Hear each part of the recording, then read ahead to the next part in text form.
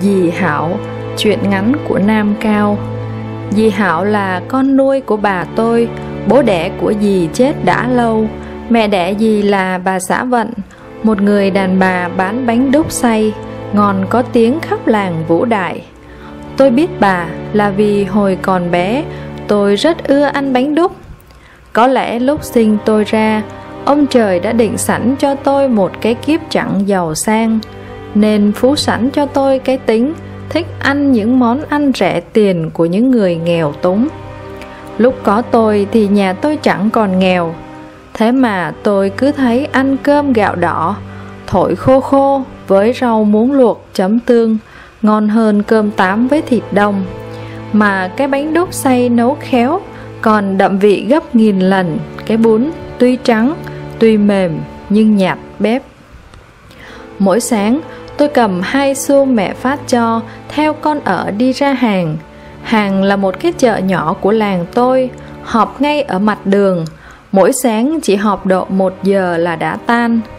Từ đằng xa, tôi đã thấy những người đàn bà, Váy bạc phách Xúm xít quen mẹt bánh đúc của bà xã vận.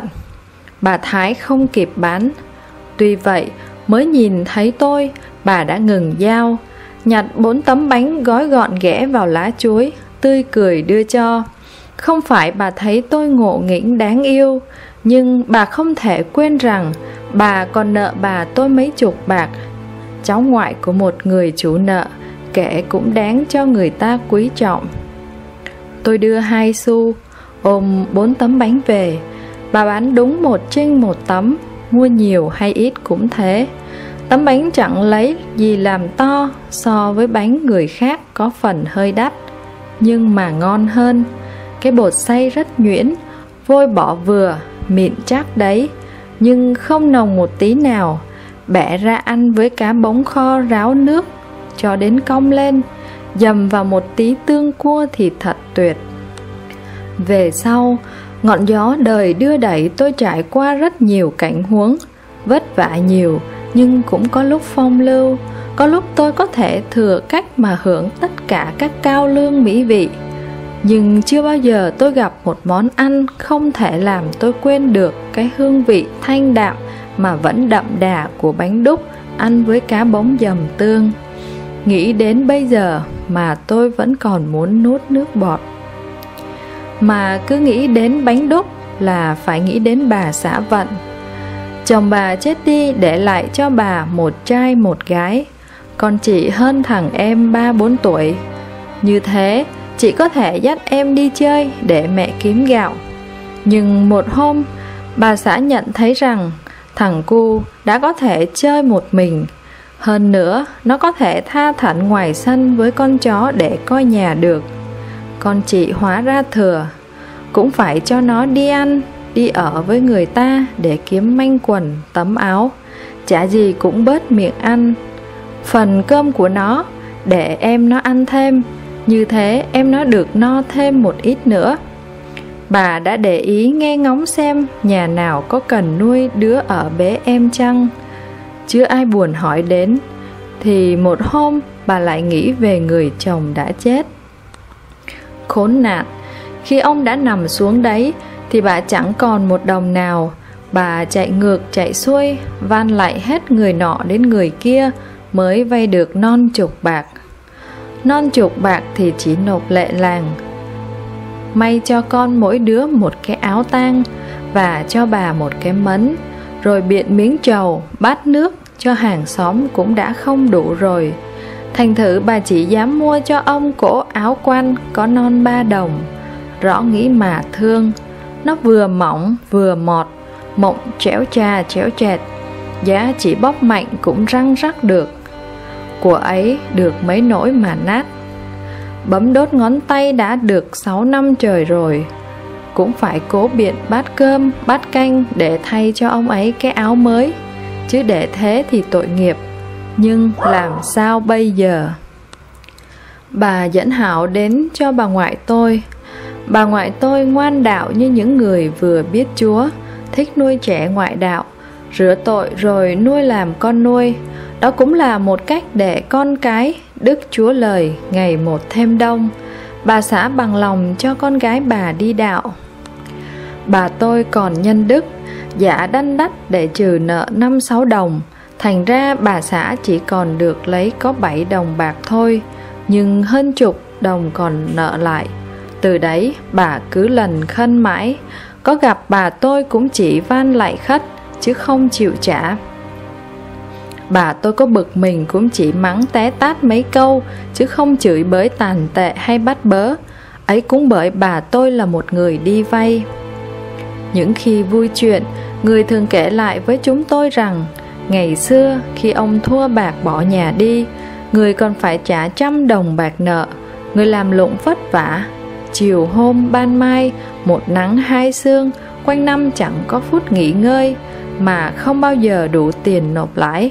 Vì thế, hơi bước ra khỏi nhà là lỗi trốn. Giá có cái áo hơi lành hay nắm gạo ăn cũng sợ người ta bắt mất.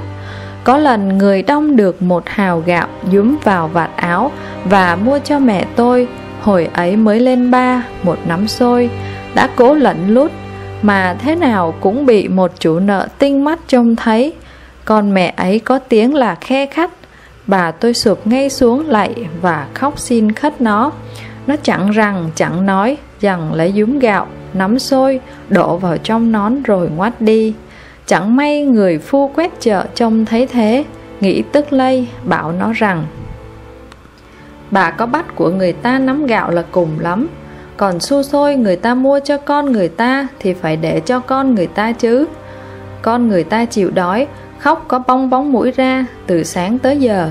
Mà bà bắt của người ta thì nó chết. Bà cũng có con mà bà nỡ đang tâm làm thế à?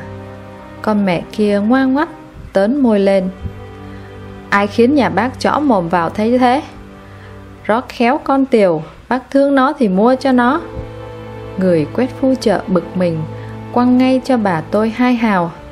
Đây này, tôi cho nhà chị vay, bao giờ kiếm được thì trả tôi. Chúng nó giàu mà coi đồng xu bằng cái mẹt vì thế, người ta đồn rằng người quét phu chợ phải lòng bà tôi. Nhưng bà tôi quả quyết với chúng tôi rằng, từ hôm cho bà tôi vay tiền, có gặp bà tôi, ông ta chỉ lặng đi như không trông thấy nhưng chỉ mấy hôm, bà tôi cũng cố tìm tiền đem trả cho ông phân minh tử tế.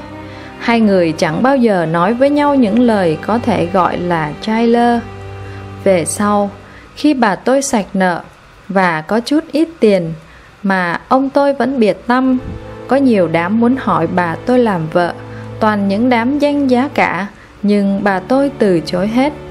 Bà tôi bảo nếu tôi không nhất định chờ chồng, làm lụng nuôi con, thì tôi lấy người phu quét chợ ngày xưa rồi. Một người đã khổ sở vì tiền, tất phải quý đồng tiền. Nhưng không phải vì thế mà bà tôi nỡ bắt những con nợ của người, phải chịu những nỗi khốn nạn mà trước kia người đã phải chịu. Đối với bà xã vận, người tỏ ra dễ dàng. Nhưng sự dễ dàng ấy một phần nữa cũng do có cô hảo, người được nhận làm con nuôi. Mới đầu, dì hảo khóc lóc đến 10 hôm. Dù có được ăn no, mặc lành đi chăng nữa, người ta cũng không thể phút chốc mà quên cái lều hôi hám là nơi mình đói rách khổ sở với em và mẹ. Nhưng rồi dì cũng khuây dần, dì theo mẹ tôi đi nhà thờ học kinh và các lễ cầu cho được rỗi các linh hồn dì thấy đi đạo cũng vui. Dần dần người ta dạy cho dì biết có một đức chúa lời dựng lên trời đất, muôn vật và loài người. Đức chúa lời có ba ngôi và ngôi thứ hai ra đời lấy tên là giêsu đức chúa giêsu chịu đóng đanh trên cây thánh giá để chuộc tội cho thiên hạ. Ai tin những điều ấy thì được rỗi linh hồn, bằng ai chẳng tin thì phải xuống địa ngục đầy lửa sinh lửa diêm có tiếng khóc lóc và nghiến răng. Tiếng khóc lóc và nghiến răng ken két thì dì không sợ lắm. Hồi còn ở nhà em dì khóc nhè suốt ngày. Những hôm nó nóng đầu thì đêm ngủ nó nghiến răng ken két. Quen đi thì cũng không sợ gì. Nhưng vì sợ lửa sinh, lửa diêm Nó thiêu đốt người ta đời đời kiếp kiếp. Có là thánh cũng không chịu nổi. Nghe nói đến địa ngục là gì lừ lưỡi ra Và dì tin Dì trở nên rất ngoan đạo nữa Dì với tôi đọc kinh và hát vãn với nhau suốt ngày. Dì bắt đầu muốn xa lánh hẳn cái lều tối tăm đầy những ma cùng quỷ. Thực tình, dì rất ít khi muốn về thăm mẹ ở nhà Và mỗi lần có phải về thăm mẹ Dì thấy hơi rờn rợn khi đến gần cái bàn thờ Lúc nào cũng âm u như che đậy bao nhiêu là bí mật. Và đây mới thật là cái buồn não nuột. Dì thấy ghê ghê ngay mẹ dì Bà xã vận bỗng thành người đồng bóng. Những ngày rằm mồng một Bà thường khăn chầu, áo ngự Đến điện nhà ông cô đồng. Ốc để hầu Dì dùng những lời rất khinh bỉ để nhạo báng bà. Bà nhạo lại dì. Mẹ con dần dần chẳng muốn nhìn mặt nhau làm gì cho thêm bực. Dì nghẹo đầu đi, Mặt đỏ bừng, Nước mũi chảy ra, Lệch sạch vác tôi đi. Thế mà, tôi có đòi đứng xuống, Dì cũng nhất định không chịu đấy. Sự tận tâm của dì cảm động lòng tôi. Mãi đến lúc tôi đã đi học, Dì đã ngồi trên khung cưỡi Chúng tôi còn quyến luyến nhau. Tôi học bài bên cạnh khung cưỡi dì. Dì thúc giục tôi? Nghe những bài học lụng cũng như ếch kêu, chó cắn. Tôi đã học sang vần chắc. Dì khen tôi giỏi quá. Khó như thế mà nhớ được. Rồi tưởng những tiếng âm vô nghĩa ấy Là những câu thần chú Gọi cái không của loài người. Dì cố nhậm theo Và lâu dần thuộc lòng tất cả các bài tôi học. Có lúc tôi ấp úng Dì nhắc cho tôi đọc nữa. Lại đến lượt tôi phục dì Khi bài tôi đã thuộc, Tấm vải của dì được ra rồi. Dì vũ váy mấy cái cho lông vải bay hết, Rồi lại ôm tôi vào lòng Mà vuốt hai cái trái đào của tôi. Những lúc ấy, Tôi thấy êm ái, Chẳng khác gì nằm trong lòng mẹ. Dì Hảo ơi, Tôi hãy còn nhớ cái ngày dì bỏ tôi đi lấy chồng. Đó là một buổi chiều có sương bay.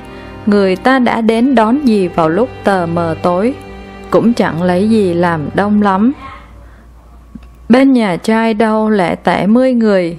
Về đằng nhà gái Bà tôi chỉ có dăm ba người chị em đưa đi. Chính tôi cũng chẳng được đi. Mẹ tôi bảo Không có cỗ đâu. Nhà người ta có chợ. Chỉ biện cơi trầu, bát nước. Nhưng nào tôi có đòi đi để được ăn cỗ Tôi chỉ theo dì hảo của tôi. Từ trước đến nay, Có bao giờ dì đi đâu mà để tôi ở nhà? Người ta giữ tôi lại. Tôi tức, khóc òa lên. Tôi tức bà tôi. Tôi tức thầy tôi. Tôi tức cả dì Hảo nữa. Tôi tự hỏi sao dì cứ phải đi lấy chồng. Và ngay bây giờ nữa, Dì Hảo hỡi, Có lúc tôi vẫn ân hận vì dì đã đi lấy chồng. Nếu gì cứ ở nhà, Nếu gì cứ là một người gì của tôi mãi mãi, Thì có lẽ khỏi khổ. Ít ra, gì cũng đỡ khổ hơn bây giờ. Nhưng mà sự thật ấy đã không thể dừng được. Dì Hảo đã đi lấy chồng, Mang theo cho người ấy tất cả lòng yêu Vẫn để cho tôi. Và người ấy đã nhận tấm lòng yêu ấy, Nhận lấy mà chẳng làm gì cho đáng nhận. Người ấy không yêu gì, Thật mà. Người ấy chẳng yêu gì Hảo đâu, Mà lại còn khinh gì là khác nữa. Hắn khinh gì là đứa con nuôi, Còn hắn là con dòng cháu giống. Và tuy rằng nghèo xác, Hắn nhất định không làm gì. Hắn lấy vợ để cho vợ nó nuôi. Dì Hảo cũng nghĩ đúng như thế ấy Dì làm mà nuôi hắn. Người vợ đảm đang ấy Kiếm mỗi ngày được hai hào Dì ăn có năm xu còn một hào thì hắn dùng mà uống rượu. Và dì Hảo sung sướng lắm, và gia đình vui vẻ lắm, nhưng sự tai ác của ông trời bắt dì đẻ một đứa con. Đứa con chết, mà dì thì tê liệt. Mỗi ngày ngồi là một ngày không có hai hào. Người chồng muốn đó là cái lỗi của người vợ vô phúc ấy. Nhưng mới đầu hắn chỉ nghĩ thế thôi, là vì nhớ tiền dành dụm người ta vẫn có thể đủ cả cơm lẫn rượu. Nhưng rồi rượu phải bớt đi, đến cả cơm cũng thế. Đến lúc ấy thì hắn không nhịn được nữa. Hắn chửi bâng quơ, hắn chửi những nhà giàu, hắn chửi số kiếp hắn, và sau cùng thì chửi vợ. Ô, hắn chửi nhiều lắm lắm. Một bữa đói rượu, rồi tình cờ có một bữa rượu say. Dì hảo chẳng nói năng gì. Dì nghiến chặt răng để cho khỏi khóc nhưng mà dì cứ khóc. Chao ôi, dì hạo khóc. Dì khóc nức nở, khóc nấc lên, khóc như người ta thổ. Dì thổ ra nước mắt. Nhưng đã vội phí nước mắt làm gì nhiều đến thế, vì dì còn phải khóc hơn thế nhiều. Khi hắn chán chửi, bỏ nhà mà đi, bỏ đi bơ vơ, đau ốm để tìm cơm rượu. Trách làm gì hắn, cái con người bắt buộc phải tàn nhẫn ấy hắn phải ăn, phải uống, phải vui thú. Đó là đời của hắn. Dì hảo què liệt không còn những cái ấy để mà cho. Không, dì có trách chi con người tàn nhẫn ấy? Cũng như dì, đã không trách bà tôi, đã làm ngơ không cấp đỡ cho dì. Bà tôi có còn giàu như trước nữa đâu. Người đã già, đã ốm yếu và khổ cực thay, đã nghèo như lúc còn hăm hai cái cơ nghiệp người gây dựng, thầy tôi buôn bán thua lỗ, chúng tôi học hành tổn phí nhiều. Đã tan tác đi theo gió bốn phương, người chỉ có thể đem đến cho dì hảo mỗi ngày một xu quà và rất nhiều nước mắt và rất nhiều lời than thở. Nhưng rồi bệnh gì cũng qua đi, nó qua như một thằng quái ác chán không muốn hành hạ một kẻ kiên nhẫn quá. Dì hảo lại đi làm, lại có tiền, lại muốn có chồng để mỗi ngày ăn năm xu và hắn dùng một hào còn lại đi uống rượu. Thì quả nhiên hắn về hắn về với một cái quần đen, một cái áo tây vàng, túi sắp sách tiền và một người vợ theo trơ tráo thoạt đầu thì người vợ chính ngạc nhiên, rồi thì tức tối sau cùng thì dì nhẫn lại, phải nhẫn lại là hơn. Nếu hắn không về thì cũng thế. Nhưng mà hắn đã về, hắn lại làm chủ cái lều và ba xào vườn của ông cha để lại. Hắn tưởng có quyền chẳng làm gì mà chỉ uống rượu, ăn cơm. Và uống rồi, ăn rồi, nó cười sặc sụa. Cái con vợ bé ấy trơ cháo lạ. Nó chẳng biết làm gì cả. Nó hát những câu tục tành. Nó uống rượu tựa đàn ông. Hút thuốc tựa đàn ông búi tóc ngược, mặc quần áo trắng tựa đàn ông, nó sẽ lôi chồng gì vào đáy sâu địa ngục thôi, treo leo thay cho cái linh hồn của chồng gì thế mà chồng gì say mê nó lắm, chồng gì gọi nó là mợ mình và mua cho những hộp sữa bò sáu hào, bảy khi nó ốm hay làm ra vẻ ốm còn gì dì biết phận gì dì cố nhắm mắt để khỏi trông thấy chúng dì chẳng hé răng nói nửa lời, nhưng dì khóc ngấm ngầm khi chúng cười vui dì nhịn quắt ruột khi chúng ăn phung phí dì héo hắt đi dì còm cõi, đúng như một con mèo đói, nhưng nếu dì còn được như thế mãi? Một buổi sáng, chừng như chúng nó đã cạn tiền và cạn cả lòng yêu Dì đoán thế, vì luôn hai ba hôm dì không thấy chúng uống rượu và cười sặc sụa. Con vợ bé vừa nhổ bọt, vừa nói cằn nhằn. Anh đàn ông hóm má vào và lõ mũi ra. Hắn vừa khoạm mắt, vừa văng tục. Con kia mặt sưng lên, Cứ nói một câu lại choai người lên, Một cái và vỗ đùi đồm đột Chúng nó nhảy sổ vào nhau rồi đấm đá, cắn cấu. Với những tiếng gào thét ầm ĩ quá, chẳng biết làm sao để mặc chúng dì bỏ đi làm, cũng như dì đã mặc những phút mặn nồng của chúng. Chiều hôm ấy, nhà có vẻ đám ma, dì không thấy con vợ bé đâu, cả chồng dì cũng thế, nhà cửa đồ đạc thì bừa bộn, mấy cái nồi đất và đôi lọ sách nước tan ra từng mảnh. Lấy tiền đâu mà sắm sửa lại bây giờ? Trời ơi, nhưng kia hắn đã về. Hắn về có một mình, một chai rượu trong tay và những tia giận bừng bừng trong mắt. Hắn uống, rồi lại uống uống lặng lặng như chưa bao giờ hắn uống. Hắn uống cả chai, rồi hắn đập chai ra và chửi. Hắn chửi bâng quơ, hắn chửi số kiếp hắn hắn chửi đàn bà. Hắn chửi con vợ bé Dì Hảo cắn chặt răng để cho khỏi khóc Nhưng cứ khóc Hôm sau hắn ra đi, không biết đi đâu, dì Hảo ngạc nhiên, rồi tức tối. Sau cùng thì dì nhẫn nại, phải nhẫn nại là hơn, nếu hắn cứ ở nhà thì cũng thế.